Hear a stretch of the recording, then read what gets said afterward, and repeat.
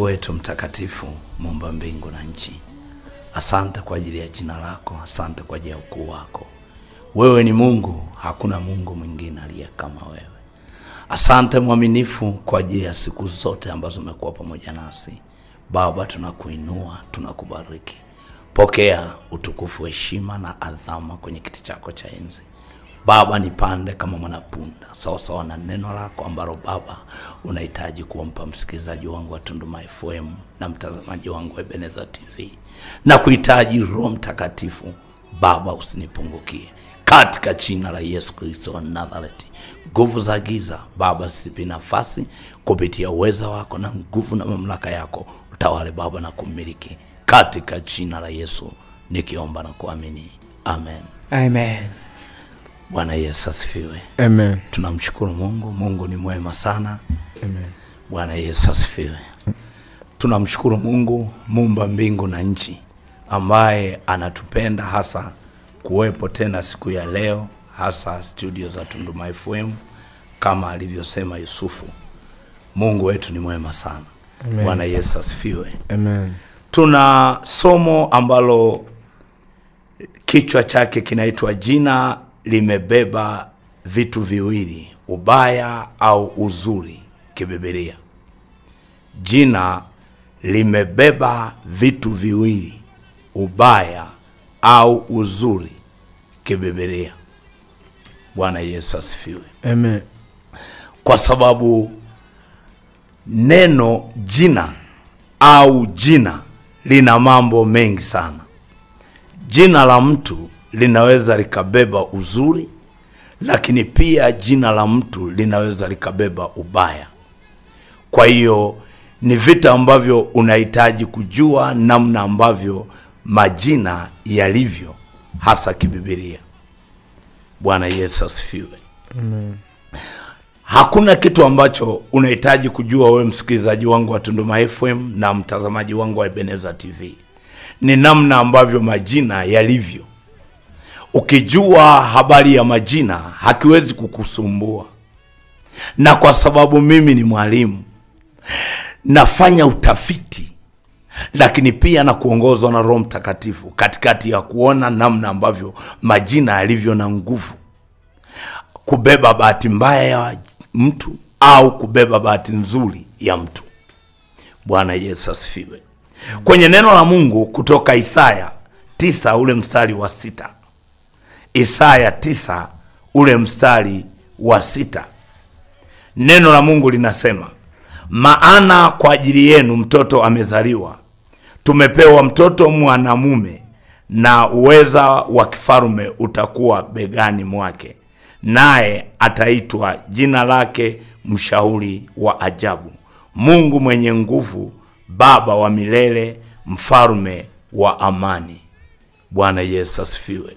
Amen. Si jambo jepesi kwa jinsi ambavyo Isaya mtumishi wa Mungu alikuwa na tabiri juu ya habari ya kile kitu ambacho kitakuja hapo mbele. Kwa hiyo alikuwa na tabiri ni Isaya tisa ule mstari wa sita juu ya habari ya kuzaliwa mtu ambaye atakuwa mshauri wa ajabu, ambaye ndani yake ana nguvu, alafu ndani yake Baba wa milele, mfalume wa amani. Kwa hiyo alikuwa anazungumza juu ya habari ya ujio au kuzaliwa kwa Bwana Yesu Kristo. Kwa hiyo akasema yeye atakayezaliwa, narudia tena kwenye huo mstari wa sita, Isaya tisa sita neno linasema, maana kwa ajili yenu mtoto amezaliwa, tumepewa mtoto mwanamume, na uweza wa kifalme utakuwa begani mwake, naye ataitwa jina lake mshauri wa ajabu, Mungu mwenye nguvu, Baba wa milele, mfalme wa amani. Bwana Yesu asifiwe. Ndiyo maana unahitaji kujua sana. Kwa hiyo kwa jinsi ambavyo Isaya alikuwa na tabiri juu ya habari ya mtoto atakayezaliwa, ambaye nguvu atakuwa na nguvu ambayo ni kubwa. Alafu vile vile atakuwa baba wa milele mfalme wa amani lakini vile vile atakuwa ni mwenye nguvu. Alafu vile vile ataitwa mfalme mshauri wa ajabu. Alafu vile vile uweza wa kifalme utakuwa begani mwake. Alikuwa na tabiri juu ya habari ya yesu. Kwa hiyo ni jina ambalo linalokuja ambalo ndani yake limebeba hizi sifa. Na ndiyo maana najaribu kusema namna ambavyo jina la yesu siyo jina lake. Ni jina ambalo alipewa na mungu. Ni jina ambalo alipewa na baba yake. Bwana yesu asifiwe. Kwa hiyo lazima utambue hivi vitu kwa sababu usipotambua hivi vitu namna ambavyo majina yalichokibeba ya- imebeba vitu viwili ubaya au uzuri. Na tutashuka chini ili uweze kuelewa zaidi ili ujue maana ya majina. Unaweza ukampa mtoto wako jina ambalo lina jina lile linafuata kile ambacho yule mwenye jina umempa kwa nini? Kwa sababu ndani ya jina kuna kitu ambacho kimebeba. Ndio maana nimesema inakuwa inabeba ubaya au imebeba uzuri. Ni vitu tu viwili vinavyoweza kujitokeza. Ni ubaya au uzuri. Kwa hiyo unaweza ukaona umeshampa jina alafu tabia ya yule uliyempa jina mtoto naye anakuwa na tabia ile ile. Kwa nini? Kwa sababu jina lina nguvu sana katika ulimwengu wa roho unahitaji kujua sana. Unahitaji kufahamu wewe msikilizaji wangu wa tunduma fm na mtazamaji wangu wa ebeneza tv kwa sababu usipojua kitakusumbua sana kwenye maisha yako. Bwana yesu asifiwe. Lazima kikusumbue. Na unahitaji kujua namna ambavyo ilivyo. Na ndio maana nimesema tutashuka ili kwa mtiriko ili ujue namna ambavyo ilivyo habari ya jina.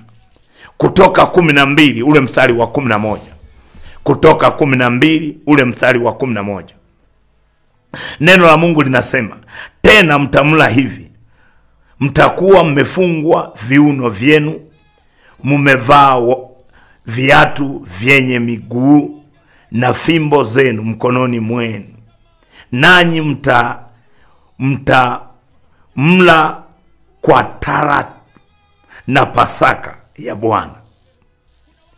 Bwana yesu asifiwe Amen. lazima utambue hiki kitu kwa sababu nachotaka kueleza hapa ni habari ya pasaka. Jina la pasaka kuna watu hawaelewi pasaka labda ilikuweje lakini hii alikuwa anamwagiza alikuwa anamwagiza msa mungu alikuwa anamwagiza msa juu ya habari ya pasaka. Kwa hiyo najaribu kukwambia kwamba pasaka ina maana ili jina lake lilianza hata kabla ya yesu hajazaliwa. Kabla ya yesu hajazaliwa katika kujidhihirisha kwenye dunia hii. Bwana yesu asifiwe. Kwa hiyo jina la pasaka ni jina ambalo linatafuta namna ambavyo mungu anamwagiza Musa, tena mtamla hivi mtakuwa mmefungwa viunoni mwenu mmevaa viatu vyenu miguuni na fimbo zenu mikononi mwenu. Nanyi mtamla kwa haraka na pasaka ya bwana. Kwa hiyo ni matokeo ya vile ambavyo unahitaji kujua. Maana yake nini juu ya pasaka? Au jina la pasaka linalenga nini? Jina la pasaka matokeo yake kwamba inalenga vitu vya ukombozi inalenga vitu ambavyo vinakuletea matokeo ambayo ni mungu anamwagiza msa kwa jinsi ambavyo Musa anahitaji kutekeleza kile ambacho anahitaji kuenenda hasa kwenye matokeo ya kile ambacho Mungu anaagiza juu ya habari ya jina la Pasaka. Kwa jina la Pasaka siyo jina ambalo limeanza kwa Yesu, lilikuwepo kabla ya Yesu. Ndiyo maana hapa alikuwa anamwagiza Musa. Kwa hiyo kama alikuwa anamwagiza Musa, lazima utambue matokeo ya Pasaka, namna ambavyo yalivyo, kwa sababu tunalilenga jina la Pasaka jinsi ambavyo lilivyo kwa jinsi ambavyo ilikuwa inafika muda ambao walikuwa naenda kusherekea pasaka kabla ya yesu. Ndiyo maana tutashuka chini ili ujue namna gani yesu yeye ilivyokuwa. Ukisoma mathayo 26 mathayo 26 ule mstari wa pili wa kwanza na wa pili. Mathayo 26 ule mstari wa kwanza na wa pili. Yesu anawaagiza nao maana ameikuta pasaka alafu anawaagiza wanafunzi. Anawaagiza hivi mathayo 26 ule mstari wa kwanza na wa pili ikiwa yesu alipomaliza maneno maneno hayo yote aliwaambia wanafunzi wake mnajua ya kuwa baada ya siku mbili itakuwa pasaka na mwana wa adamu atasa, atasalitiwa asurubiwe. kwa nini kwa sababu ndicho ambacho yesu alichokuwa anatembea nacho juu ya wanafunzi anawaambia ilikuwa imebaki siku mbili ya pasaka. Kwa hiyo akawaambia kitu ambacho kitakachoenda kutokea mwana wa adamu atasulubiwa. Akawaambia wanafunzi bado siku mbili. Kwa hiyo najaribu kukuelekeza juu ya habari ya jina la pasaka kwa maana hii kwamba lina matokeo ambayo yalitokea tangu mwanzo. Hajatokea kwenye agano jipya. Bwana yesu asifiwe. Kwa hiyo kama hayajatokea kwenye agano jipya lazima utambue hivyo vitu. Usipotambua jina la pasaka litakutesa na utaliona kama ha, ni kama halieleweki eleweki au linaeleweka eleweka lakini ni jina ambalo lilikuwepo ambalo linamaanisha kwa jinsi ambavyo ilikuwa ni sherehe ambayo mungu alikuwa ameiandaa muda mrefu ambao kila mwaka walikuwa wanasherekea. Ndiyo maana wakati wa yesu zimebaki siku mbili anawagiza wanafunzi kwa jinsi ambavyo anawaelekeza juu ya habari ya baada ya siku mbili kuta, kuna pasaka. Lakini mwana wa adamu anaenda kusurubiwa yeye bwana yesu asifiwe. Nilikuwa nakwambia juu ya habari ya jina la pasaka. Bwana yesu asifiwe. Ukijua hiki kitu hakiwezi kukusumbua kwa sababu utatembea kwenye vile ambavyo mungu anahitaji kutembea na wewe. Bwana yesu asifiwe kwa hiyo nikianza kwenye mathayo ili ucheki jinsi ambavyo ninataka kukufungulia kitu hapa.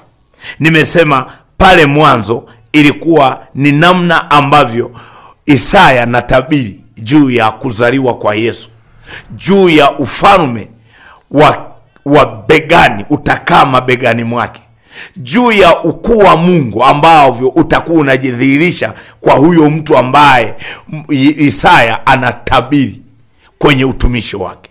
Na huyo anatokea. Na kitu kilichotokea tayari tunaingia kwenye matokeo ya kile ambacho mungu anahitaji kukifanya. Bwana yesu asifiwe. Ndipo unasoma mathayo moja ule mstari wa ishirina moja. Mathayo moja ule mstari wa ishirini na moja. Mimi niko kwenye habari ya majina. Usijaribu kukosea majina. Uwe na uhakika unampa jina mtoto ambaye saa nyingine unampa jina ambaye saa nyingine unayempa jina ni mganga wa kienyeji. Uwe na uhakika uganga wa kienyeji utakuwa unamtafuta huyo uliyempa jina. Uwe na uhakika unampa mtoto alafu yule unayempa mtoto ni mlevi. Uwe na uhakika naye atabeba hicho ambacho kipo kwa sababu ni nguvu nimesema zinabeba ubaya au uzuri. Kwa hiyo bahati mbaya sana ili utambue jinsi ilivyo ilivyotokea mathayo moja ule mstari wa ishirina moja ucheki namna ambavyo ninakwambia jina la yesu halikuwa ni la kwake ni jina la yesu ni la kupewa kwa hiyo lilibeba nguvu za mungu. Alibeba ufalme ulikuwa uko mabegani mwake. Alibeba ushauri mshauri wa ajabu alibeba. Ndiyo jina la Yesu. Mathayo moja ule mstari wa ishirini na moja. Neno la Mungu linasema naye atazaa mwana, nawe utamwita jina lake Yesu. Anaagizwa. Yusufu ambaye anaagizwa, yani atazaa mwana ambaye jina lake limetoka mbinguni, Anai, ataitwa Yesu. Ni maelekezo ya yule anayezaliwa. Bwana Yesu asifiwe. Jina lake jina lake Yesu, maana yeye ndiye atakayewaokoa wote watu wote na dhambi zao. Bwana Yesu asifiwe. Amen. Ndio maana si jambo jepesi ambacho unahitaji kujua namna ambavyo ilivyo, kwa sababu ukitaja, yani okay, leo tungesema ungegugo kwenye mtandao ukasema ukagugo jina linalo linalookoa mtu, yani linalomfanya mtu aokoke, litatokea jina la Yesu. Kwa nini? Kwa sababu ndani ya jina la Yesu limebeba uokovu, limebeba uokovu. Kwa nini? Kwa sababu ndani yake linatafuta namna ambavyo lilipewa mamlaka mbinguni, ili utaje kwa jina la Yesu na mtu aokolewe, ili umwongoze sala ya toba mtu, ili aweze kuokolewa ili aweze kuokoka. Maana kuokoka ni jambo ambalo Yesu alilopewa na jina lake. Ndiyo maana Math- Mathayo moja ule mstari wa ishirini na moja. Kwa nini? Kwa sababu hapo nimesoma tu ni A, lakini nikisoma B neno la Mungu linasema maana yeye ndiye atakaye waokoa watu wake na dhambi zao. Kwa hiyo jina lake Yesu ina maana ndani yake limebeba uokovu, lakini pia ndani yake limebeba ondoleo la dhambi, lakini ndani yake limebeba uponyaji. Kwa hiyo ukigugo ukasema jina linaloponya, ina maana litatokea jina la Yesu. Kwa nini? Kwa sababu ndiyo kazi lililopewa jina la Yesu. Ndio maana ukis- ninataka mshauri wa ajabu, maana litatokea jina la Yesu. Aliye na nguvu mabegani mwake, litatokea jina la Yesu. Kwa hiyo jina la Yesu limepewa kuokoa, limepewa kuponya. Kwa hiyo haujaponya mtu, hajaponywa mtu isipokuwa ni kwa jina la Yesu. Bwana Yesu asifiwe. Ndio maana wale wanafunzi walioongozana kule em, wale, e, kwenye kijiji cha Emau, kwa sababu walikuwa wanatembea na Yesu, wao wanamuuliza hivi, hujasikia kitu kilichotokea? Yesu anawaambia kitu gani kimetokea? wakati wanajieleza kwamba wamempiga mtu wa watu ambaye ni Yesu, wamempiga, wamemuua, hakuwa na hatia, yeye akawa yuko kimya. Lakini ndani ya wale watu waliokuwa wanasimulia, wao wanasema mioyo yao ililaluka, ilikuwa inala, ilikuwa inapata moto, inalaluka. Kwa nini? Kwa sababu walikuwa naongea na mwenye jina lenye uponyaji na mwenye jina lenye kuokoa. Kwa hiyo wakawa wanaeleza wanaeleza mpaka walipofika kule nyumbani kwao, walivyomkaribisha tuende nyumbani, na akakubali, na wakaingia kwenye chakula, wakasema tule na mgeni, wakasema tuombe. Alivyosema tu mgeni aombe, tayari alivyoanza kuomba wakakuta haombi kwa jina la Yesu kwa sababu hakuna kitu ambacho kinafanyika bila jina la Yesu. Lazima jina la Yesu ndilo Mungu alilolipa kuokoa na kuponya, ndilo alilolipa kuondoa dhambi za watu ili kujiambatanisha na yeye, ni jina la Yesu. Walivyofika pale, mara wakafumbuka, walivyofumbuka macho yao, Yesu alipotea. Kwa nini? Kwa sababu jina lake ni jina lenye uweza, ni jina linaloponya, ni jina linaloondoa dhambi, ni jina la Yesu. ndiyo maana nikwambia jina la yesu ni jina la kupewa kwa hiyo amepewa jina ambalo liko bahati nzuri bwana yesu asifiwe Amen. kwa hiyo kama amepewa jina ambalo linaokoa na kuponya lazima ufikiri wewe mtazamaji wangu wa ebeneza tv lazima ufikiri wewe msikilizaji wangu wa tunduma fm namna gani ambavyo unahitaji kumpa yesu maisha kuwa bwana na mwokozi wa maisha yako. Ili utembee lazima utembee kwenye jina la yesu. Kwa sababu jina la yesu lina matokeo ya kile ambacho linaweza likaumba kwako na kikatokea. Bwana yesu asifiwe. Mwingine anasema mwalimu inakweje? Kwa sababu huoni yesu akitembea. Anakotembea alivyokuwa anatembea huoni yesu akikemea kwa jina la yesu. Kwa nini? Kwa sababu alikuwa akifika maana yeye ndo lilikuwa jina. Kwao. alikuwa akifika akisimama mapepo yanaanza kuondoka. Ndio maana yule yule kichaa aliyekuwepo magrasi kule kitu kilichotokea yalivyomwona akamwambia mbona umekuja kabla ya wakati? Lakini yesu alikuwa hajatamka kitu chochote. Kwa nini? Kwa sababu yeye ndilo lilikuwa jina. Kwa hiyo alikuwa hatamki. Inasema basi tuamuru tuondoke tuende kwenye nguruwe. Kwa nini? Kwa sababu yeye ndo ilikuwa jina. Ah, na kuambia tu ondokeni kwa sababu inaanza kuondoka kwa sababu ndio ndio jina. Kwa sababu jina lina nguvu sana. Jina lina bahati mbaya na jina lina bahati nzuri. Jina linaweza likabeba mazuri lakini jina linaweza likabeba mabaya. Lazima utambue hivyo vitu. Kama unaweza kushindwa kutambua huwezi kwenda. Lazima utambue wewe msikilizaji wangu wa tunduma fm na mtazamaji wangu wa ebeneza tv jina lina maana kubwa sana. Kuna watu wanateseka kwa sababu ya majina. Kuna watu wana shida wanapata shida nyingi kwa sababu ya majina. Kwa hiyo ni shida sana kuwa na jina ambalo lina lina ubaya. Kwa nini? Kwa sababu ni jina ndivyo lilivyo. Mwingine anasema mwalimu hii inakuweje kwa jinsi ambavyo unavyosema? Twende samueli samueli wa kwanza ishina tano ishina tano samueli wa kwanza ishina tano ishina tano.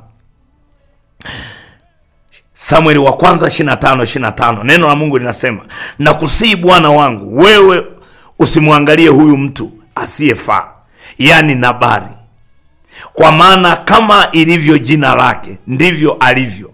Yeye jina lake ni Nabari, na upumbavu anao. Lakini mimi mjakazi wako sikumwona na vijana wa bwana wangu aliyowatuma bwana yesu asifiwe. Kwa hiyo jina la nabari ni jina ambalo lilikuwa ndani yake limebeba upumbavu. Na huyu ni mke wake anamwambia anamwambia daudi kwamba jina la nabari ni huyo ndivyo alivyo kama jina lake lilivyo maana upumbavu anao. Kwa maana hiyo kwamba jina lake la nabari lilikuwa limebeba upumbavu. Umewahi fikiri umempa mtoto jina lako?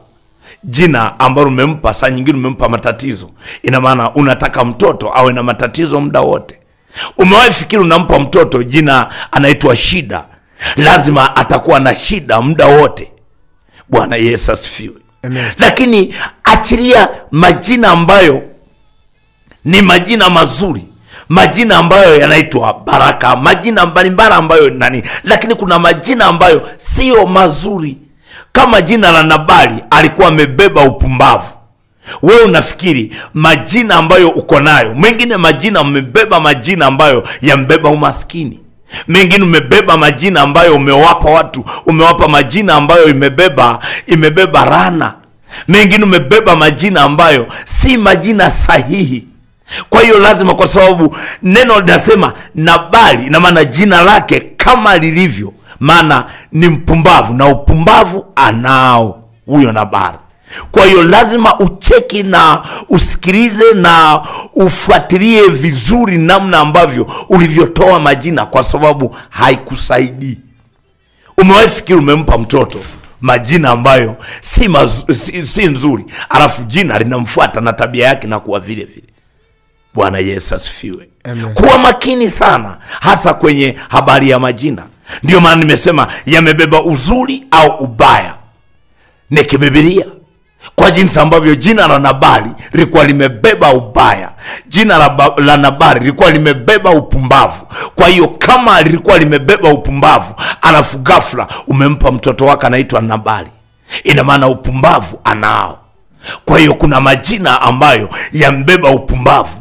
Kwa hiyo kama yamebeba upumbavu ni asara kubwa sana. Ataishi hapo kwa sababu yanakuwa mapepo au nguvu za giza au, ma, au vitu ambavyo viko nyuma yake. Kwa hiyo kama viko nyuma yake na maana ni kwamba hawezi kutoka kwa sababu hawezi kutoka kwa sababu ya jina. Kwa hiyo jina lina hasara kama ukikosea kwenye jina bwana yesu asifiwe. Amen. lazima utambue hivi vitu. Kwa hiyo kama usipotambua lazima ujue hivi vitu. Ndo maana someni mathayo moja ile mstari juu ya habari ya yesu. Mathayo moja ule mstari wa shina moja juu ya habari ya jina la yesu. Someni isaya tisa ule mstari wa sita. Anatabiriwa. Ni jina ambalo linakuja na vita ambavyo ni vizuri bwana yesu asifiwe. Lazima utambue hivi vitu. Kwa hiyo usipotambua hivi vitu vitakutesa kwenye maisha yako vitakutesa kwenye utumishi wako vitakutesa kwenye kazi yako vitakutesa. Wewe mtu umepewa jina bayo kila ofisi unaenda ya serikali wanakufukuza.